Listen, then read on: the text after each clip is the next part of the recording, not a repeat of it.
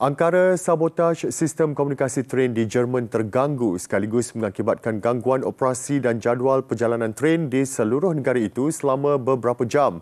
Perkara itu disahkan oleh pihak berkuasa pengangkutan Jerman. Antara yang terganggu, operasi perkhidmatan tren penumpang dan kargo di beberapa negeri seperti Hamburg, Bremen, Schleswig-Holstein dan Lower Saxony. Selain itu, pergerakan tren antara negara dari Berlin ke Amsterdam dan Denmark turut terjejas. Siasatan awal pihak berkuasa mendapati terdapat gangguan pada sistem radio digital train di hub utama train terbabit. Pihak berkuasa percaya kejadian disebabkan oleh perbuatan sabotaj dan siasatan masih diteruskan dalam usaha mengesan pelakunya.